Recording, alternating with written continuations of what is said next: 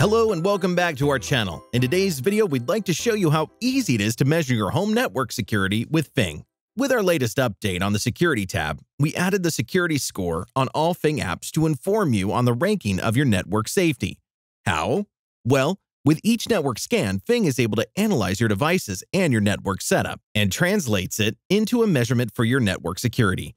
With a free account, you only have a couple security features, which are confirmed devices on your network and access points protection.